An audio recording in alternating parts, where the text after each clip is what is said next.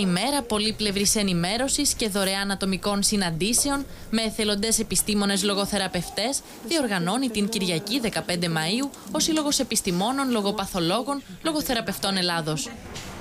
Αφορμή στάθηκε η Πανελλαδική ημέρα λογοθεραπείας, ενώ οι δωρεάν συναντήσεις με μικρούς και μεγάλους θα πραγματοποιούνται από τις 12 το μεσημέρι έως τις 6 το απόγευμα της Κυριακής. Κεντρικό θέμα της φετινής δράσης είναι οι διαταραχές άρθρωσης και φωνολογίας. Αντίστοιχες συνεδριάσεις θα πραγματοποιηθούν και σε άλλες πόλεις της Ελλάδας.